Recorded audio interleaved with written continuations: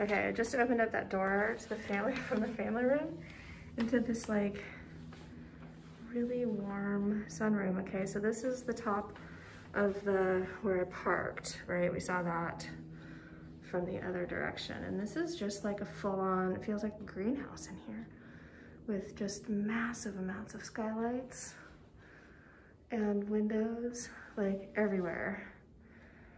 I, wow, this is a huge sunroom with this um, sink. It'd be like such a fun kid playroom, honestly. And then it's got like three doors total?